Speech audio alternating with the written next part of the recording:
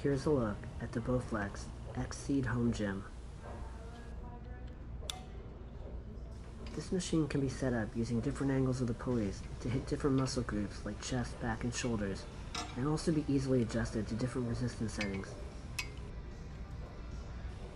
And also has a station to work legs and biceps.